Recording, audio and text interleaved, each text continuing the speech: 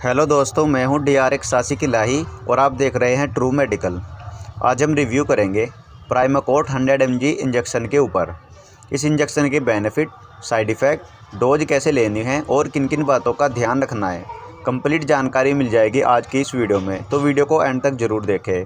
और अगर आपने अभी तक हमारे चैनल को सब्सक्राइब नहीं किया है तो चैनल को सब्सक्राइब कर ले और बेल आइकन को भी दबा दे, क्योंकि हम सभी मेडिसिन को बहुत ही अच्छे तरीके से समझाते हैं। तो चलिए वीडियो स्टार्ट करते हैं।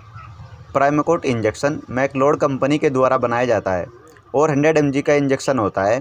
एमआरपी इसका फोर्टी रुपये के करीब होता है और इसके अंदर एक साल्ट होता है। हाइड्रोकोटिसोन सोडियम सेक्सीनेट अब बात करते हैं इसके कुछ बेनिफिट के बारे में। प्राइमकोट कोर्टिकोस्टेरॉइड इंजेक्शन है जो कि कई तरीके से यूज़ किया जाता है। जैसे कि किसी को सीवियर एलर्जिक रिएक्शन है एलर्जी कंडीशन है, या फिर कोई कैंसर की प्रॉब्लम है। तो ऐसी कंडीशन में प्राइमोकोट इंजेक्शन को यूज़ करते हैं। इसके अलावा अगर किसी पर्सन को स्किन से रिलेटेड कोई डिसऑर्डर है या आई से रिलेटेड तो ऐसी कंडीशन में भी प्राइमोकोट इंजेक्शन को ईजिली यूज़ करते हैं। प्राइमोकोट इंजेक्शन इस तरह की सभी कंडीशन को आराम से ठीक कर देता है। इंजेक्शन लगाने के दो तीन मिनट बाद ही आराम मिलना शुरू हो जाता है। तो ये थे इसके कुछ बेनिफिट अब बात करते हैं डोज के बारे में। आप इसे मसल्स में या नस में दोनों ही तरीके से लगा सकते हैं।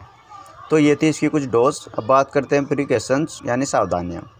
प्राइमोकोट इंजेक्शन को ओवरडोज में ना लगाए और किसी भी मेडिसिन को यूज़ करने से पहले एक बार उसकी एक्सपायरी चेक कर ले। तो ये थे इसके कुछ प्रिकॉशंस अब बात करते हैं साइड इफ़ेक्ट के बारे में।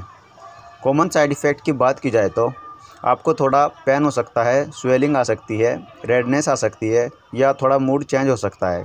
इस तरह के कॉमन साइड इफ़ेक्ट सामने आ सकते हैं। उम्मीद करता हूँ पूरी जानकारी आपकी समझ में आ गई होगी। तो ये थी प्राइमोकोट हंड्रेड एम इंजेक्शन से रिलेटेड कुछ जानकारी।